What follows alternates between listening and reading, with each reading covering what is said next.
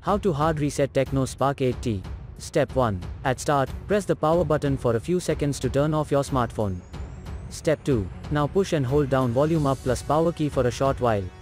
Step 3. When the Tecno logo shows up on the screen release the power button.